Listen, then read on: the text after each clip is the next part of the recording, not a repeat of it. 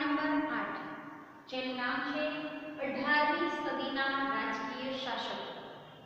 એની અંદર આપણે અમુક મુદ્દાઓની વાત કરી હતી, જેમ કે મુઘલો છે, એના અંતિમ શાસકો કયા હતા? એ મુદ્દો જોઈ ગયા હતા. ત્યાર પછી રાજપૂત રાજ્યો વિશેની વાત કરી હતી. અને ત્યાર પછી આપણે જે બ્રિટિશ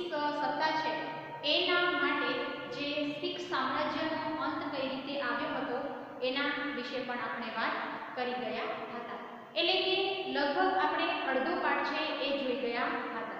હવે આજના વિડીયોમાં આપણે બાકીના જે મુદ્દાઓ છે એ સમજી અને પાઠ પૂર્ણ કરીશું.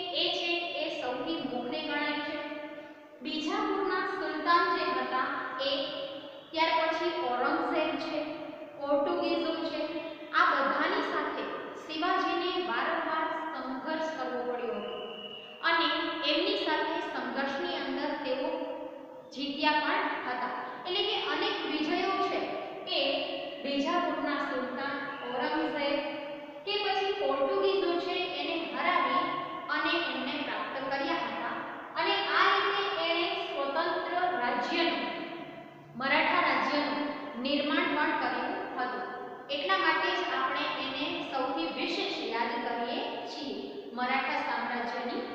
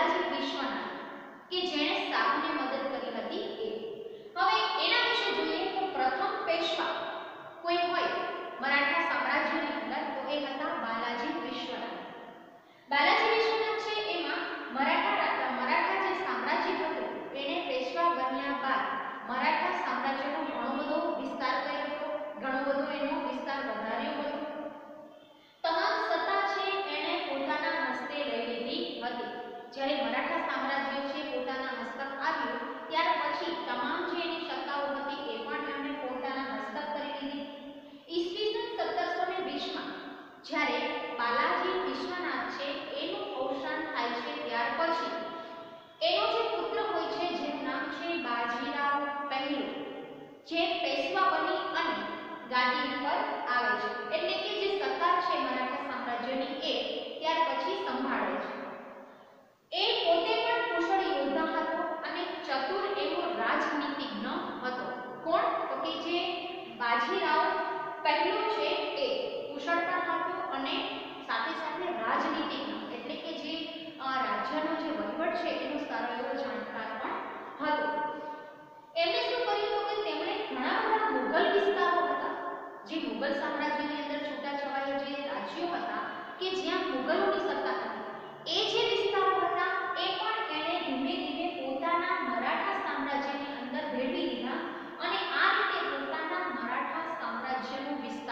poder listar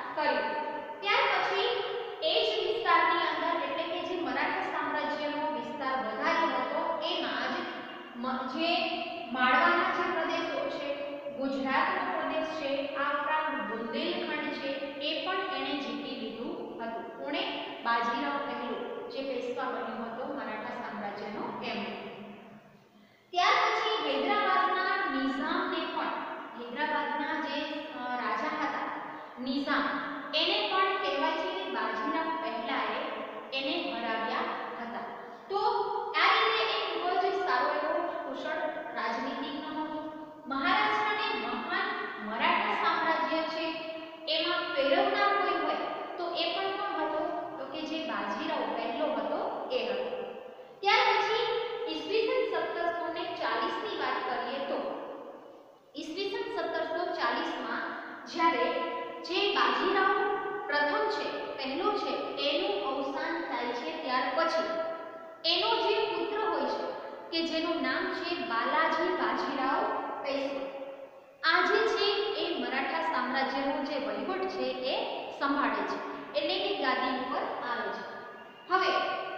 બંગાળ અને મૈસૂર સુધી જે બંગાળથી જે એ પોતાનું શાસન ચલાવતા હતા, ત્યાંથી લઈ અને મૈસૂર સુધી એ પોતે વિજય છે એ એક પછી એક વિજય પ્રાપ્ત કરે છે અને પોતાના સામ્રાજ્યનો વિસ્તાર વધારે છે. ઈસવીસન સત્તરસો ને એકસઠની અંદર ઈરાનના શાહ, જેનું નામ હતું અહેમદ શાહ, બરાબર? એ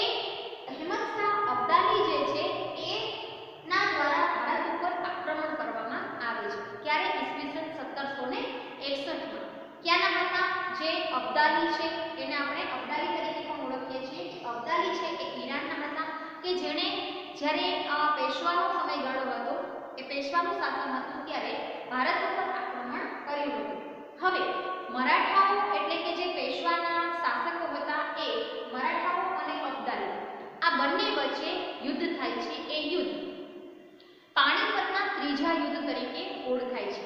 પ્રથમ સત્રની અંદર આપણે જે મુઘલ સામ્રાજ્યને એ બધા પાઠ ભણ્યા હતા, એની અંદર આપણે પાણીપતનું પ્રથમ યુદ્ધ અને પાણીપતનું દ્વિતીય યુદ્ધ, બીજું યુદ્ધ, આના વિશે વાત કરી હતી. બરાબર? કોના કોના વચ્ચે થયું હતું? એ તમારે એક વખત જોવાનું છે, જેથી કરીને તમને એ યાદ આવશે.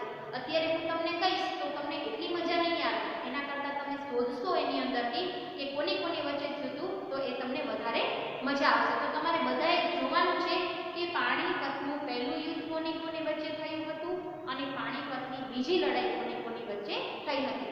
અહીંયા આગળ આપણે વાત કરીએ તો મરાઠાઓ અને અબ્દાલી વચ્ચે જે યુદ્ધ થયું એ પાણીપતના ત્રીજા યુદ્ધ તરીકે ઓળખાય છે.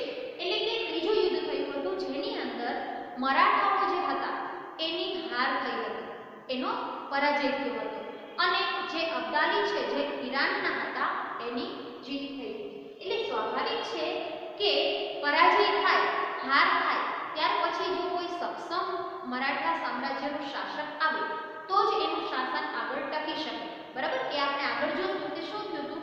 એ, હવે અહીંયા વાત થઈ કે મરાઠાઓને જ્યારે હાર થઈ, આ હારના સમાચાર જે પરાજયનો જે આઘાત લાગ્યો, એટલે કે હારના સમાચાર જે છે, એ જ્યારે બાલાજી બાજીરાવ પેશવા જે શાસક હતા, એને સુધી પહોંચે છે એને મળે છે ત્યારે પરાજયના આઘાતથી એવું કહેવાય છે કે બાલાજી બાજીરાવનું મૃત્યુ થાય છે હવે આ યુદ્ધથી મરાઠા છે એ ધીમે ધીમે નિર્બળ રાજ્ય બની ગયું. કારણ કે એનું શાસન છે એ ત્યારે ટકી રહે, જ્યારે એમાં કોઈ પ્રબળ શાસક આવે.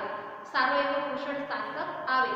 પણ બાલાજી બાજીરાવ છે, ત્યાર પછી કોઈ સારો એવો શાસક છે એ મરાઠા રાજ્યને મળ્યો નહીં.